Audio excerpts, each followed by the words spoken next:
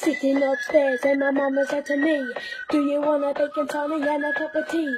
I went downstairs and what did I see? Stupid peanut pudding, he was drinking me tea.